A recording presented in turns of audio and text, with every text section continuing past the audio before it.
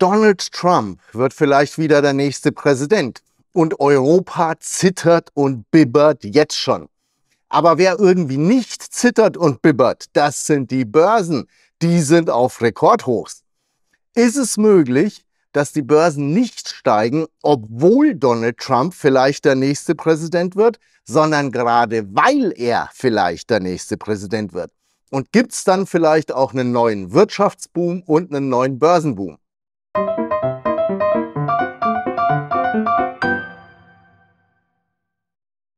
Macht Donald Trump uns jetzt alle reich, mal unabhängig davon, was man sonst von ihm hält. Ein paar von uns hat er ja schon reich gemacht. Die, die dran geglaubt haben, dass er seine Trump-Media doch noch einbringt in diesen börsennotierten Spec. Ich habe das Ganze hier schon öfter mal erwähnt. Das ist da ein Jahreschart von dem Ganzen. Die Aktie hat sich jetzt verfünffacht in der Spitze, bis dann die neuen Zahlen natürlich gekommen sind dann ist sie wieder um 40 Prozent abgestürzt. Aber wie schon gesagt, ein Börsenwert von 13 Milliarden Dollar bei einem Umsatz von 4 Millionen Dollar. Das ist keine Euphorie mehr, das ist ein Kult, das ist Gottesanbetung. Oder wie das ein Zuschauer dann hier auch geschrieben hat, Trump-Media-Aktien sind die neuen Ablassbriefe. So eine Bewertung, das würde noch nicht mal die PR-Firma von Gott selbst bekommen. Und der Vatikan ist aber übrigens noch nicht börsennotiert, aber vielleicht besinnt man sich da ja auch jetzt eines Besseren nach den Erfahrungen, die Donald Trump gemacht hat. So oder so, Donald Trump hat damit jetzt natürlich nochmal Milliarden verdient und die, die an ihn geglaubt haben, die haben da auch ein bisschen mitverdient, kann man sagen. Aber jetzt geht es ja wieder um ein viel größeres Spiel. Und es gibt nicht wenige, die sagen, wenn Donald Trump wieder Präsident wird in den USA, dann gibt es da auch einen neuen Boom und wahrscheinlich auch nochmal ordentlich Schub an, an der Börse. Zum Beispiel hier eben Robert Halver von der Baderbank an prominenter Stelle bei Mario Lochner.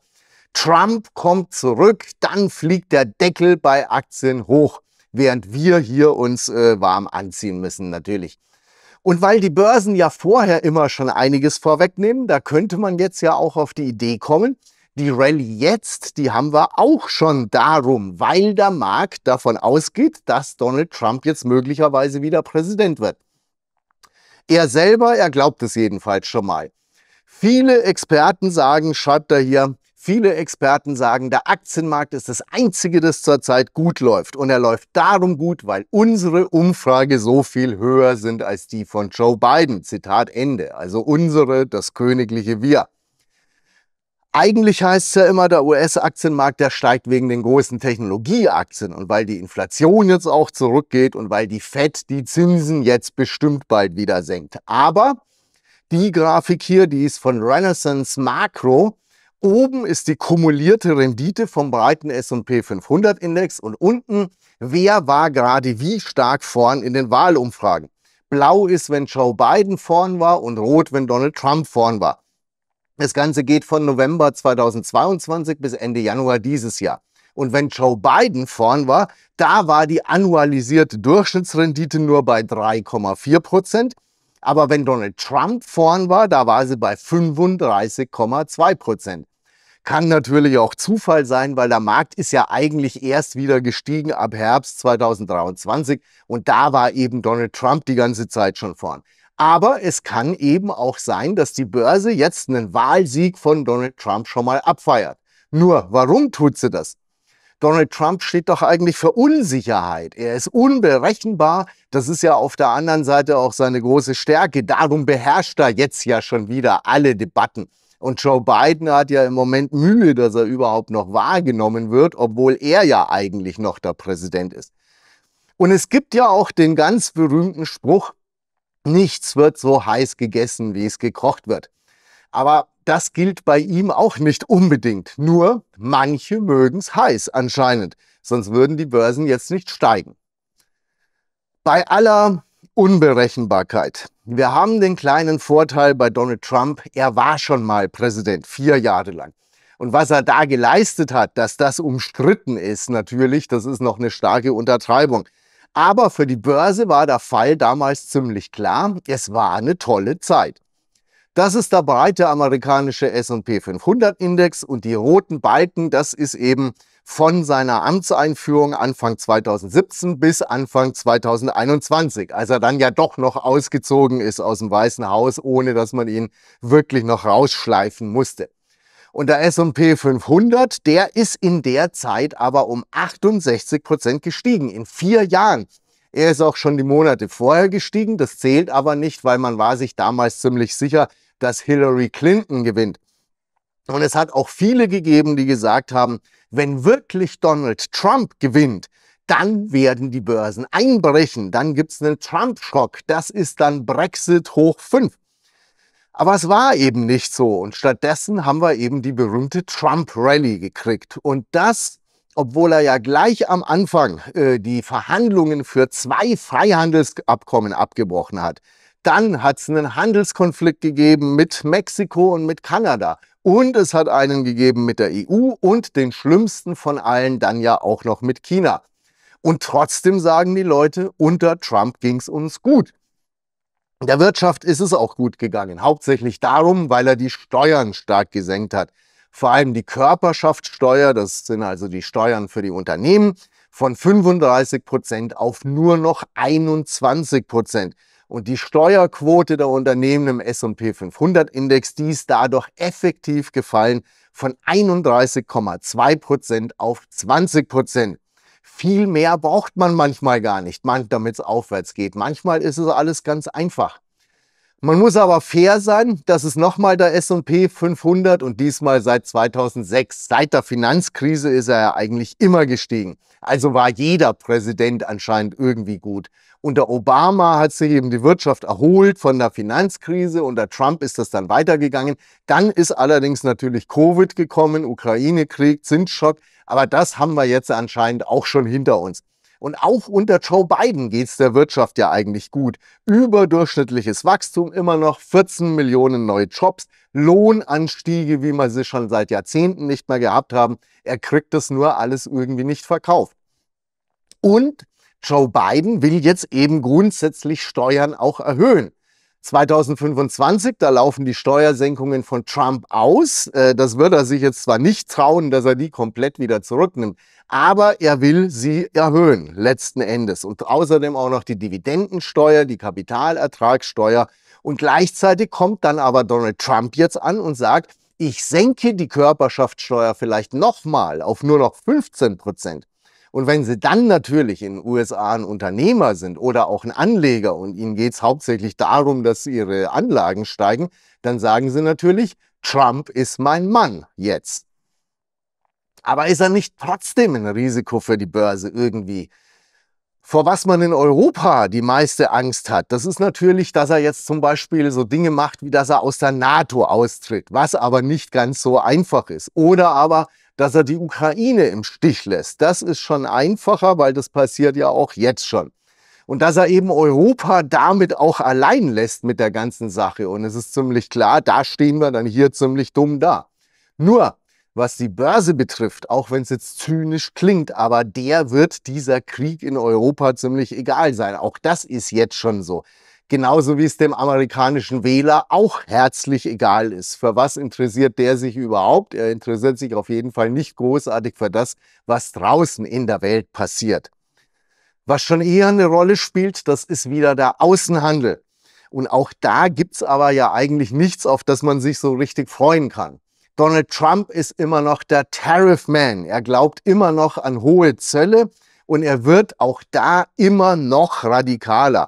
Und nach allem, was wir wissen, und das wissen wir hauptsächlich von ihm selber, nach all dem steht jetzt im Raum 10% Importzölle auf alles aus jedem Land, außer Tiernahrung.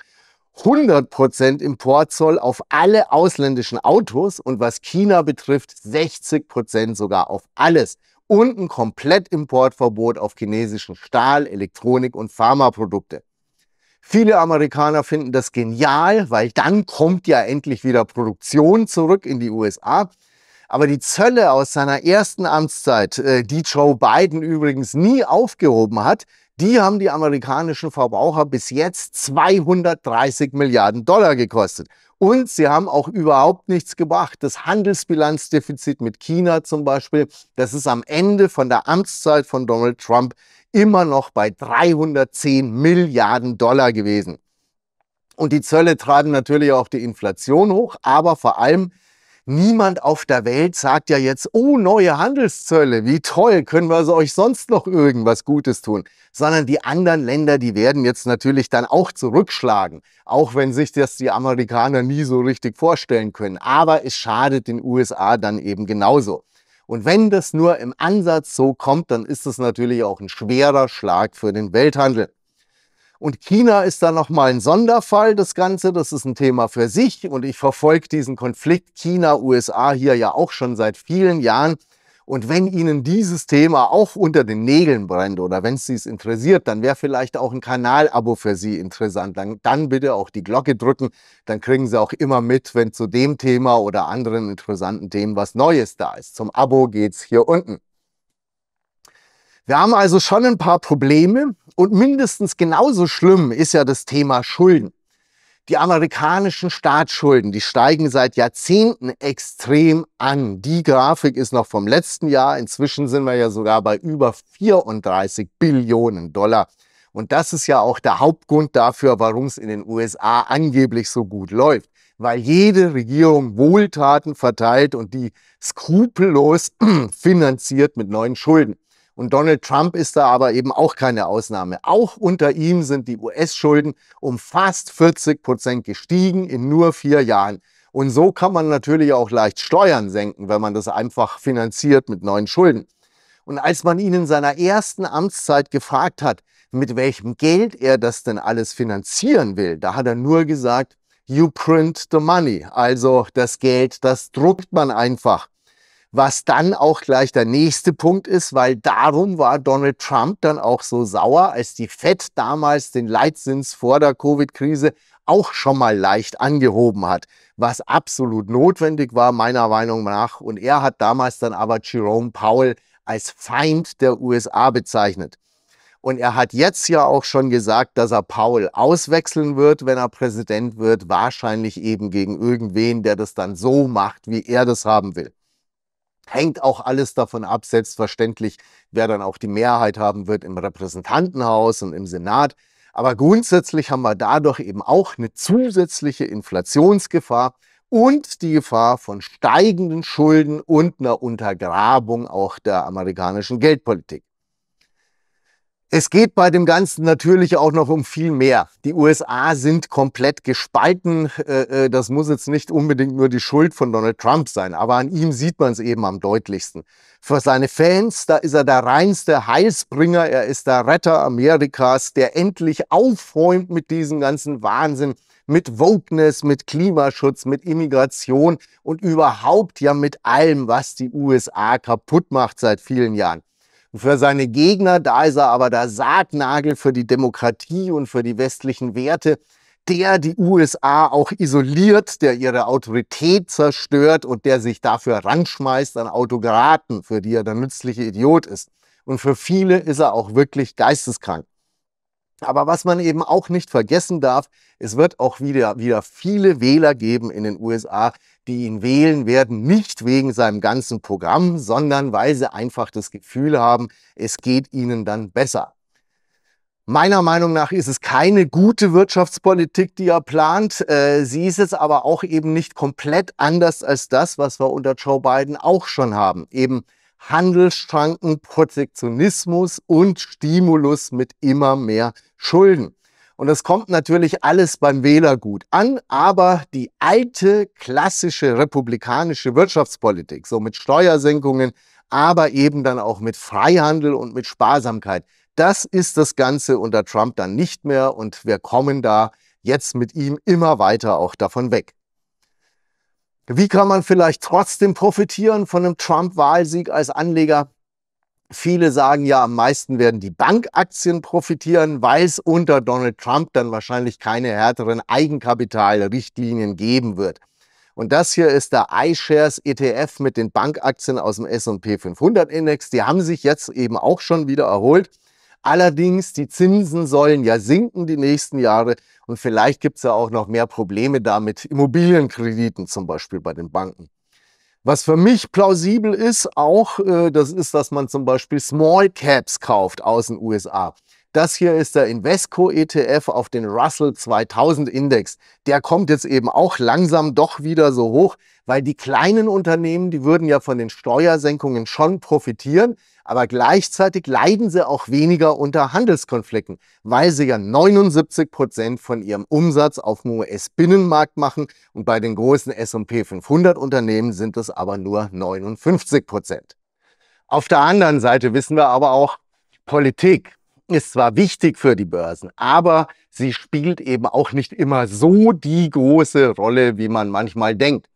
Von daher, Donald Trump kann jetzt die tollsten Sachen machen, wenn er wieder Präsident werden sollte. Und die Börsen fallen aber vielleicht doch, weil sie vielleicht schon zu hoch stehen oder äh, weil es sonst irgendeine Krise gibt.